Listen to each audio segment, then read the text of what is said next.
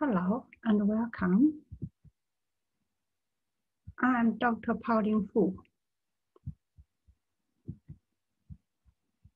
In this video, I will solve three problems in variable screening methods for multiple regressions. Problem one, analysis of footprint in sand. Uh, this is a study about footprints. A group of hard scientists used human subjects, 16 young adults, to generate footprints in sand. The dependent variable of interest was hair depth of the footprint. Six potential independent variables were investigated. Foot mass, leg length, foot type, velocity, pressure, and impulse. A stepwise regression run on these six variables yielded the following results. So selected variables has pressure and leg length.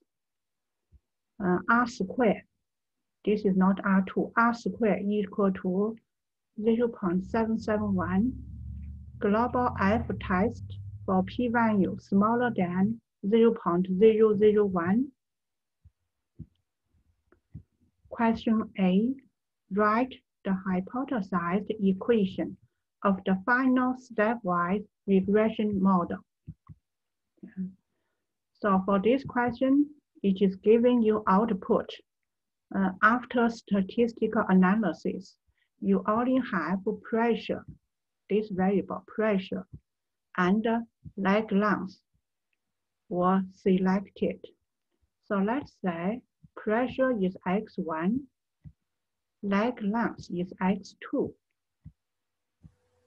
So only these two variables are important after stepwise regression. So question A, the equation, regression equation, equation equal to EY, EY equal to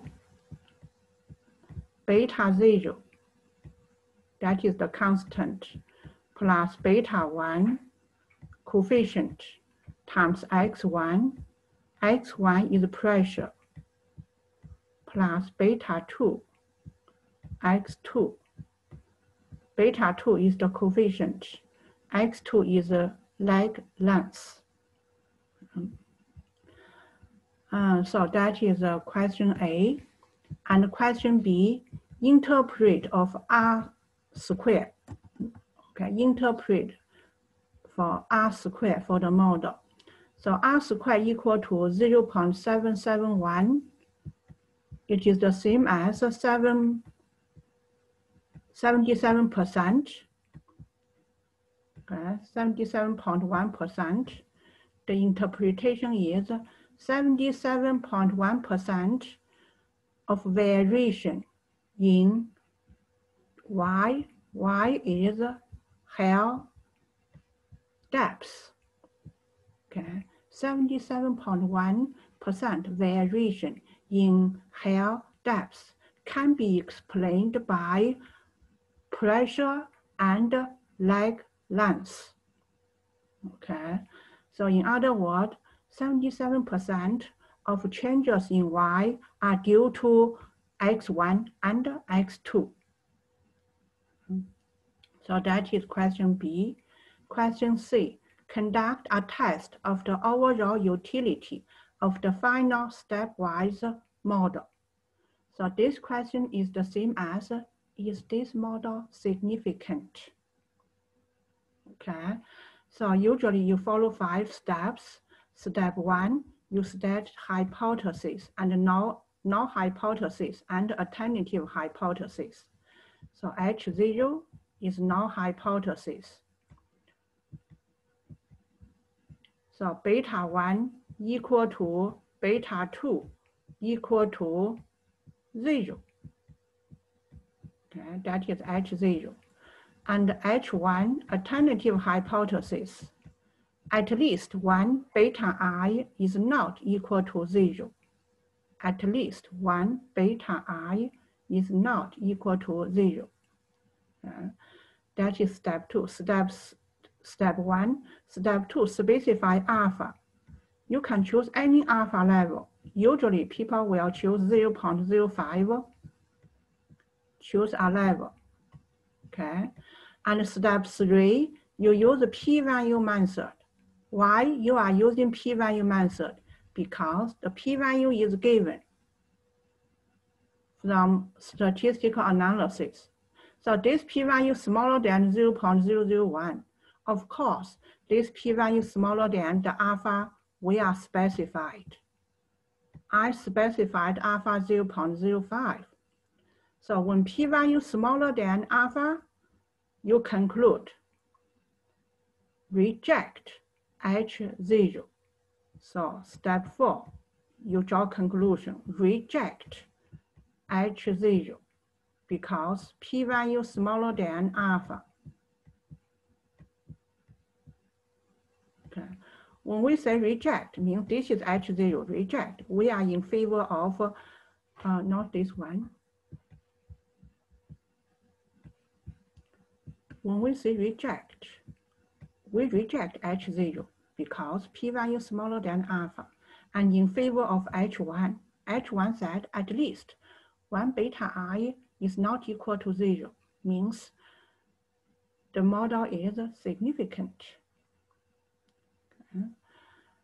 Uh, that is question C. Question D, at minimum, minimum, how many t-tests on individual betas were conducted to arrive at the final stepwise model? Remember, we have six variables initially. We have here six independent variable. Okay, so the first time we need to contact, conduct six tests.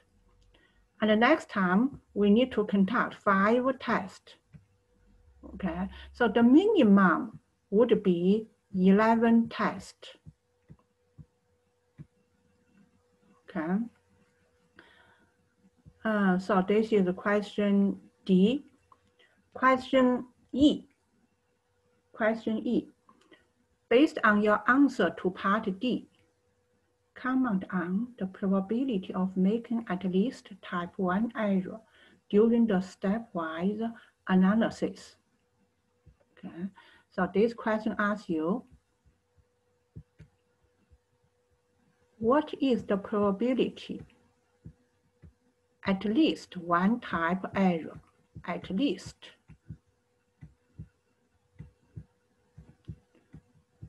at least one type 1 error.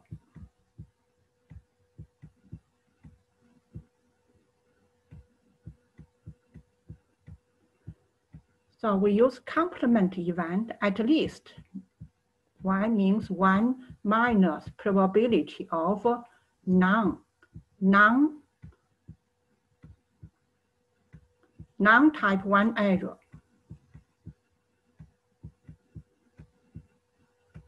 Okay, use complement event. Okay, now type 1 error. And then what is the probability of non-type 1 error? You use, it is either type 1 error or not type 1 error. So you use binomial distribution. Okay. So this one, you 11 choose 1. And then you have, oops, sorry.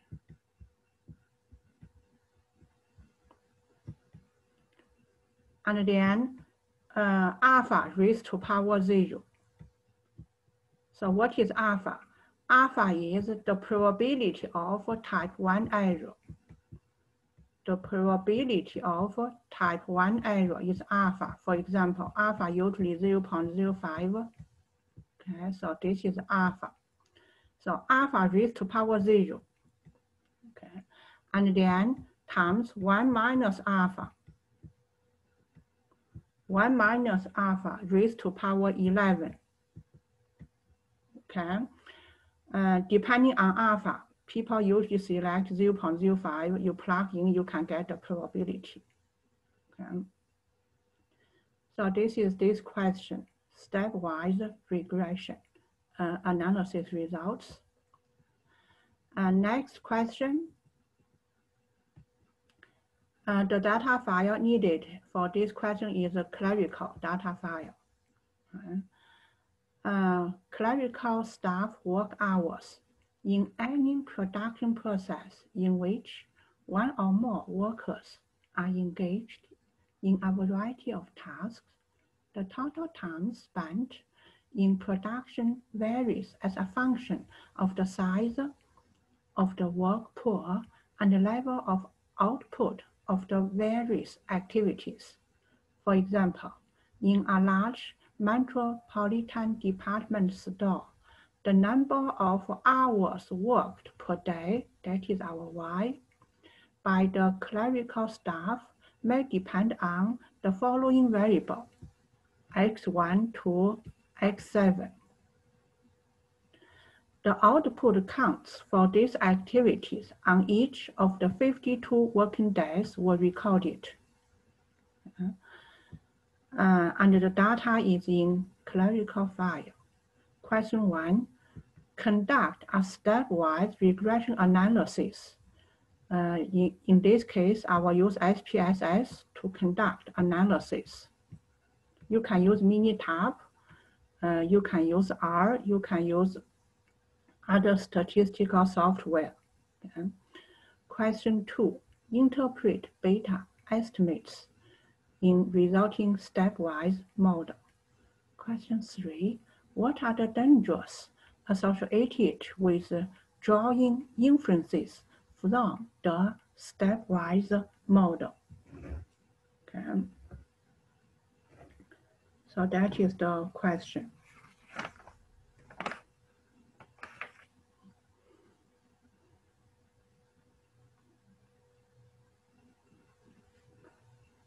So let's do the question one first, stepwise analysis using SPSS.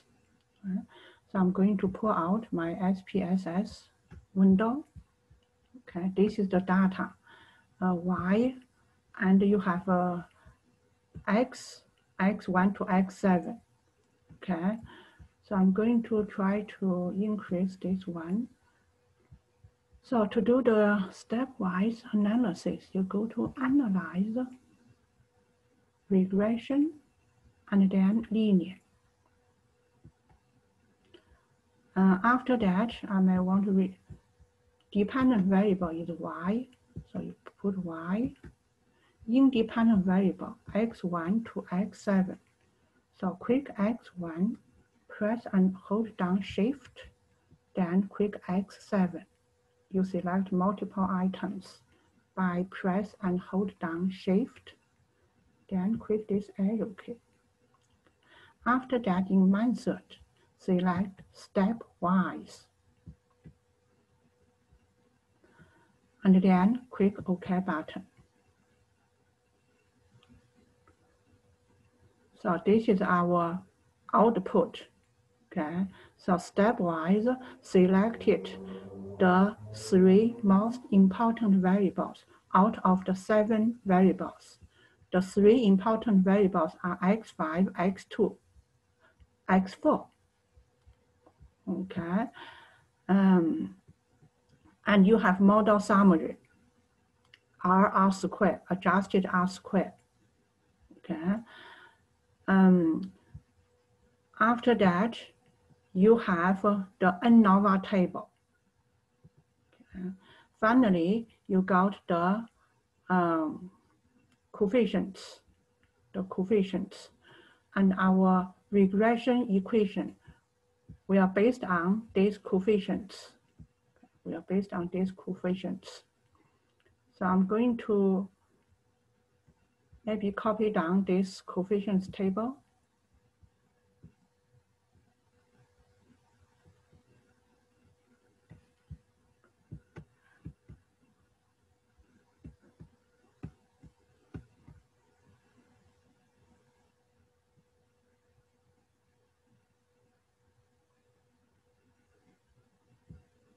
I copy it? Copy it. And I will paste it here.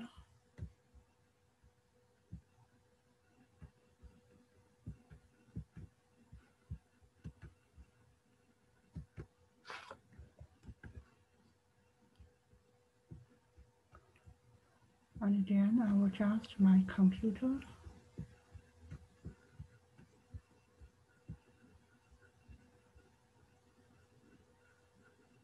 x5, x2 constant. Um, the data is not lining up, or maybe you need to. So this is constant, okay? Constant 77. Constant is 77, and then coefficient for xy is uh, 0 0.05h, coefficient for x2, coefficient for x4. Okay, so based on this one, I can write down an equation. Okay, stepwise analysis. Okay, so the equation would be question A, EY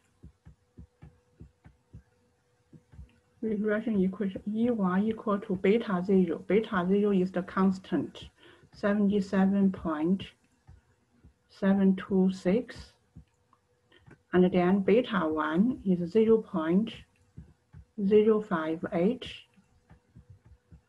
times x5.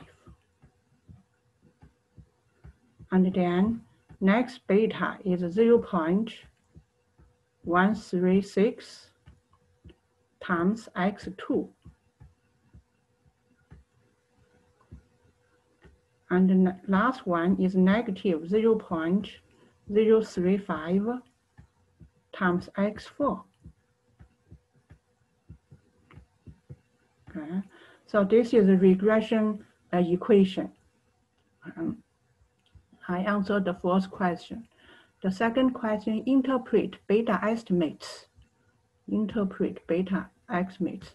So first we interpret beta zero. This is beta zero. Okay, beta zero, 77. That means when x5, x2, x4 equal to zero. Okay, what is y? Next, interpret this is beta 1, 0 0.058. That means um, when you increase one unit of x5, y will increase by 0.058, holding x4 and x2 constant. So that is beta 1 interpretation. Now beta 2 interpretation, 0.138. When you increase one unit of x2, y will increase by 0.136, holding x5 and x4 constant. Last one, beta 3, negative 0.035, when you increase one unit of variable x4, y will decrease by 0.035, holding x5, x2 constant. Okay, so that is a question two. And question three, what are the dangers associated with stepwise model? Okay um, the danger is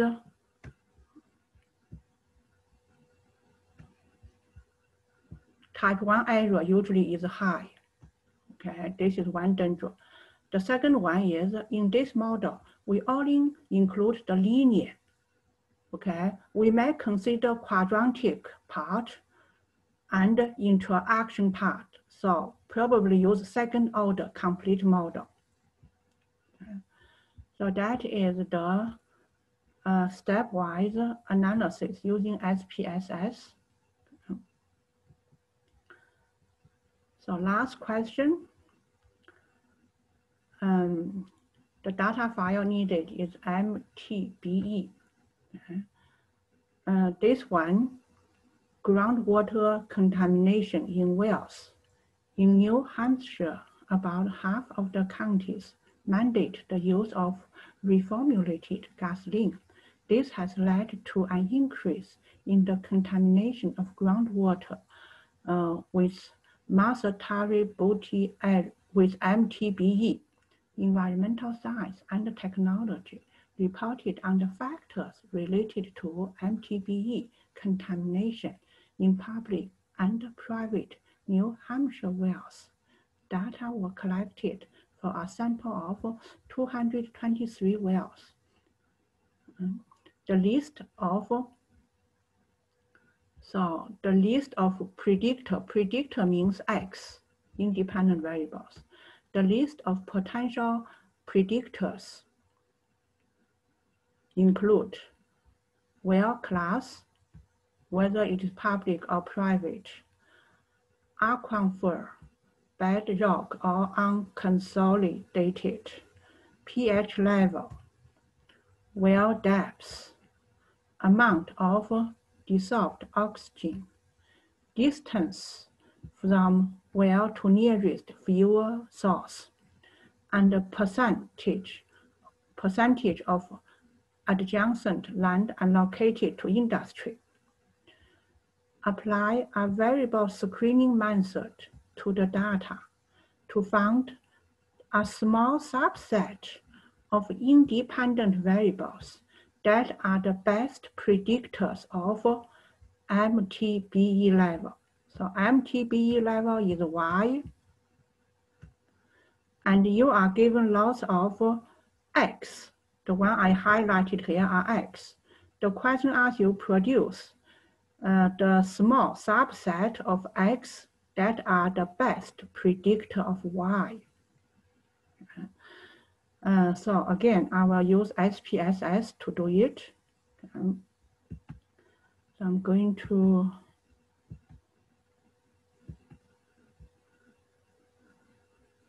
open SPSS.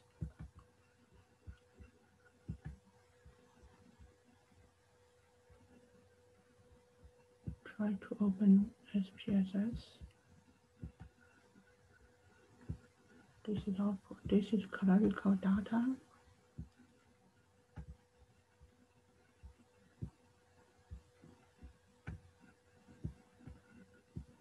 So quick file open.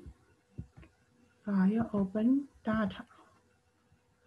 Uh, the data is MTBE. I already saved it. So open.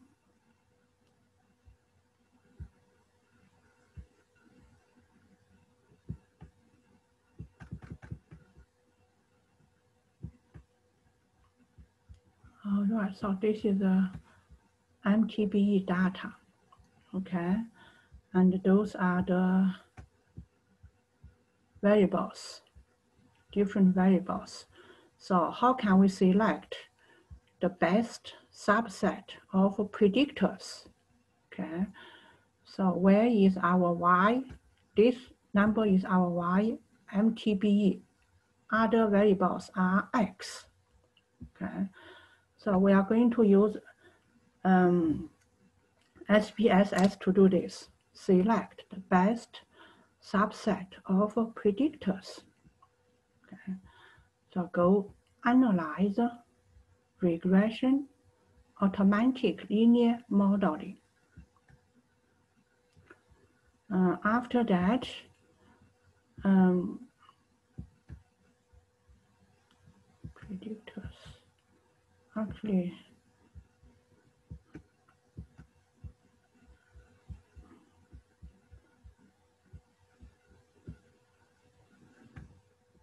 I already did it. So I'm just going to maybe select what is the target. Target is the Y. This one, MTB is the target. So I'll move this one to target. No, move this one to target uh, other variables are x. All these variables are x. And we want to select the most important x that can use to predict MTBE. That is our task. Okay, so this is a fields.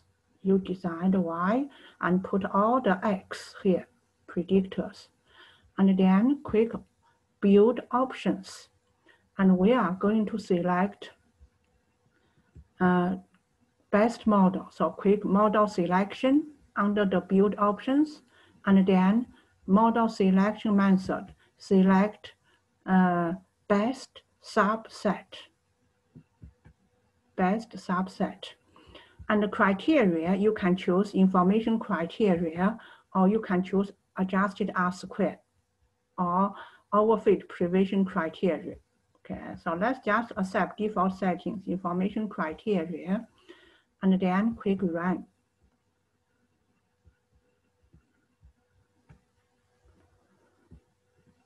So after that, you have this model summary. Okay, model summary. So where is our best predictors? You have to click this button here.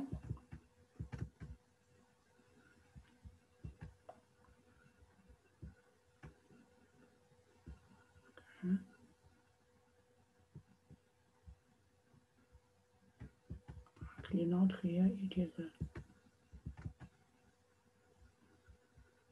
here. Okay. So from here, you can see the predictor importance this depth is the most important predictor, followed by safe YID and then IND PCT. Okay, and then MTBE detect. So there are four, one, two, three, four important um, predictors. There are four important predictors. Okay, uh, so I'm going to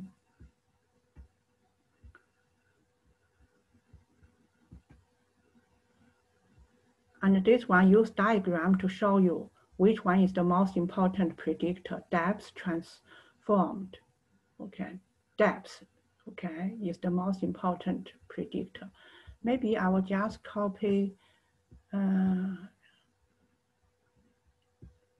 one, this one here is more visual. Okay, these four predictors are the most important one. I'm going to copy this screen and then paste it.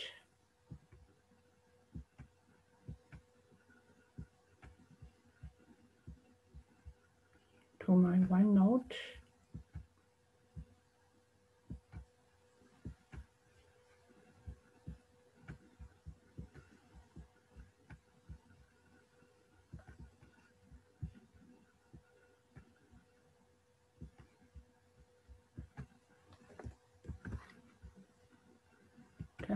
So we found the best subset of predictors, these four variables.